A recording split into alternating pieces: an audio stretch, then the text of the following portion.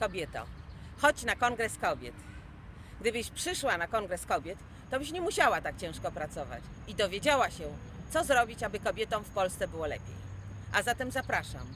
9-10 maja, Warszawa, sala kongresowa.